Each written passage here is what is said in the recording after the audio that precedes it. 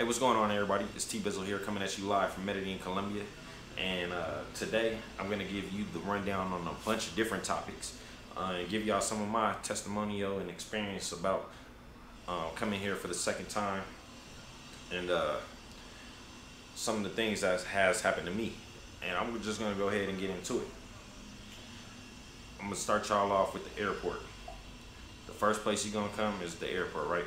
So, when you at the airport, you're gonna need some money. Get you a little bit of money. Where you get that money from is the ATM machine. That's gonna give you your best rate.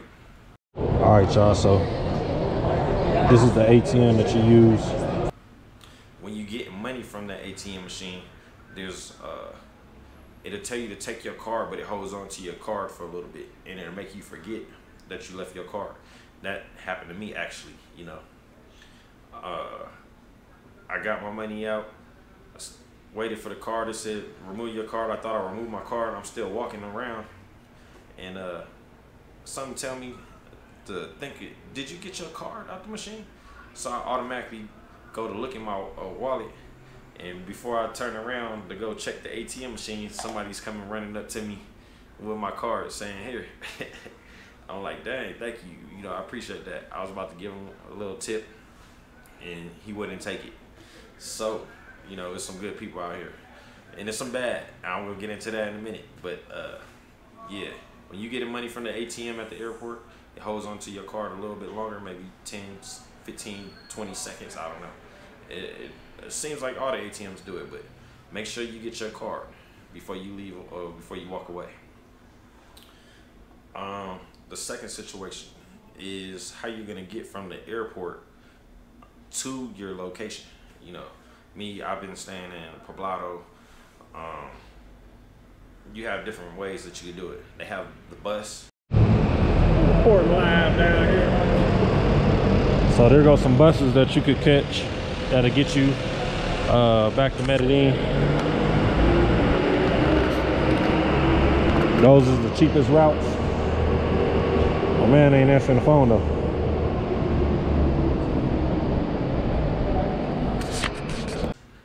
Drive, we can drop you off downtown. Um, I know they have taxis out front that you can use.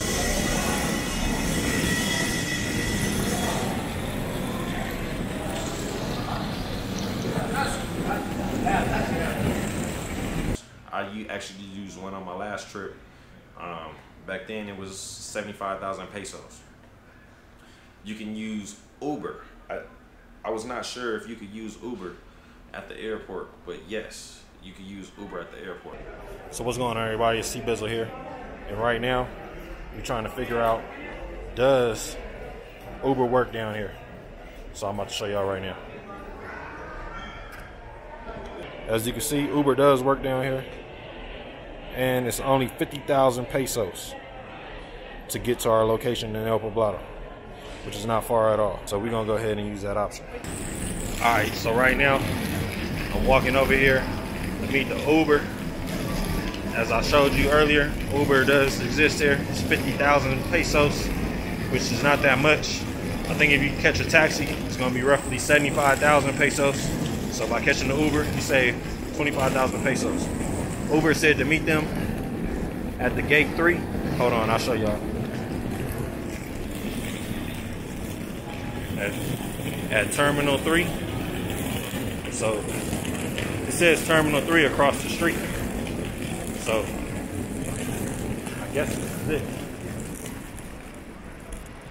Both is Terminal 3 though.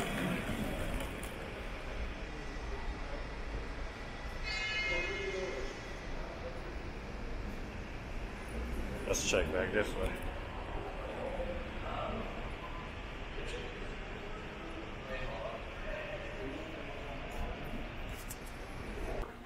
Uber is a uh, Uber is a good thing to use. It only cost me around fifty thousand pesos, which is not bad. It's not bad at all. Um, last year when I came, they didn't have this new tunnel system open that they do now. Before you would have to drive up this long, tall mountain and then drive all the way down. It took about 45 minutes to an hour and uh, to get through all the traffic by the time you get to Poblado. But it's a little different now. So you got the tunnel open, but I believe it's only open at certain times. So this could be big on you not when you are going there, but when you are leaving. Um, I believe it's shut down from 12 to 5 in the morning. So if you got that 6 o'clock flight leaving out of Medellin going to Miami, that tunnel will be closed. So you're not going to be able to get there in that 18 minutes that the tunnel now offers you. Yeah, that's right. You get from Medellin Airport to the city in like 18 minutes. Only when you're using the tunnel if it's open.